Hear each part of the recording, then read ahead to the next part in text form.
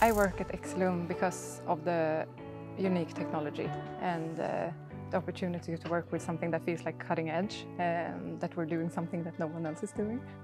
Excillum started with the idea that you take liquid metal and you recycle it around while continuously shooting an enormous amount of electrons on that metal. I wanted to be a part of a team and to have that, uh, you know, a collective sense, a good teamwork. And this is all Excillum here and much more than that. We prioritize quite highly when you need help or support each other. We also have a nice afterworks.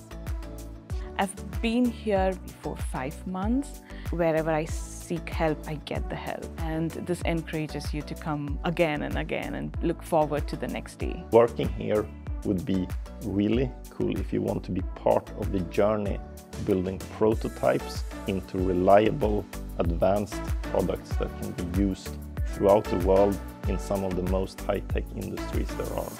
We can't do anything alone and uh, we, we work together partner suppliers, customers and ourselves. So the together thing is really, really important. We have advanced technology and uh, we're convinced that the more of that technology that is out there, the more good we can do. We, we come from a, a very advanced user base and our job is to make our technology available